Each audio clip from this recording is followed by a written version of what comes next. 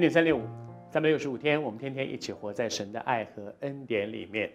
我们还是要说，我们在这一系列职场系列，其实是想要帮助我们透过圣经很多属灵的原则，让你在职场上可以更深的完成神要你成为盐、成为光，为主得人，为主发挥属灵影响力那个神给你的托付。因此，有很多的地方我们需要被调整。我们需要被改变，比如说我的人际关系，比如说我跟老板的关系，比如说我对老板的态度，比如说我跟他说话时候的方式。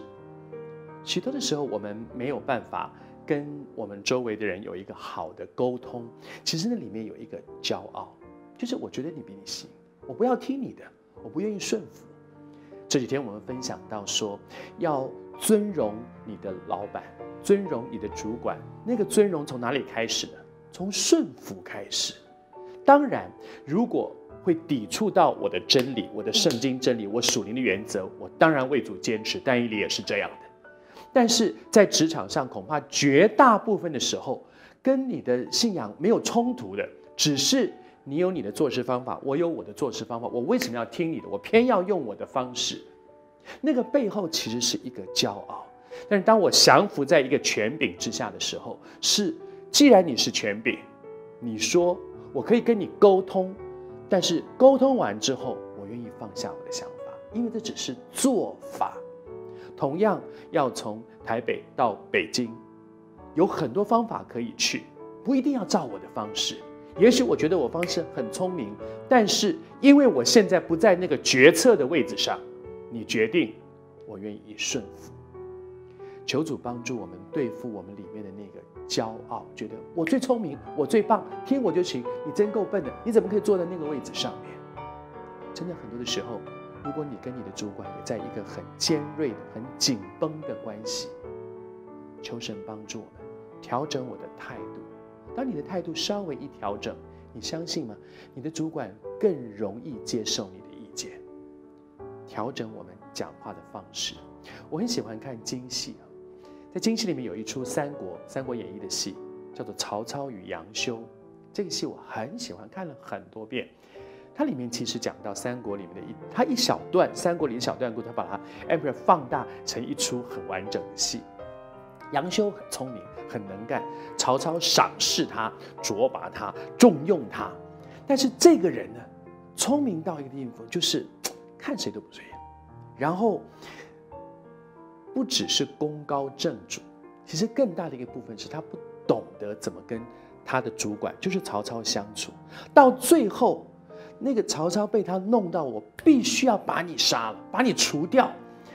最后一场戏我非常喜欢，那场戏，曹操要杀杨修。这个杨修是我一路卓拔起来的，我提拔你这个人，怎么到最后到我我自己提拔起来的人，我要自己亲手把你给除掉。在那个刑场上，他们两个人坐下来，你看这多有意思的一场戏啊！那个要杀他的跟那个要被杀的两个人坐下来，曹操说：“好，先不要行刑，你们旁边人走开，我们两个人坐下来谈一谈。”他们就在讲，曹操就说：“杨修啊，你怎么会把情况搞成这样呢？你明明知道我是重用你的，我是欣赏你的，我愿意用你，但是你怎么会把情况搞到今天，我非要结束你不可？曹操这个人有取死。”这个人他其实是很宽广，他会用人的。他宽不宽广我不知道，但他真的是会用人的人。他有大志，他也需要用人，他也真的卓拔了一些很优秀的人。但是杨修怎么会把情况搞成这样呢？我父亲不太看京戏的，但是我听我母亲说这出戏他爱看，因为在这出戏里面看到很多人性的一些黑暗。我妈妈说，爸爸看完这出戏之后，他说。杨修这个人有取死之道，什么叫取死之道？就是自找死路，是你把你自己逼到这样的境况下。如果稍微谦卑一点，如果稍微谦虚一点，如果稍微柔软一点，情况就不会这样了我还是要说，这个非官你的职场生涯能不能够升官，能不能够加薪。你说我就是这样，不加薪算了，不升官算可以。但是如果关系的是上帝要你在这个位置上为他做更大的事，会不会因为我的脾气说我就是这样，我不肯改变，以至于神原本要做成的事被我的个性拦阻了呢？为自己，我就是这样；如果是为神，你愿不愿意说我改？真是求神施恩，在这几集一系列分享到怎么样顺服。在这一系列的分享当中，觉得神不断的重新提醒我，我也为你祷告，愿上帝向你的心说话。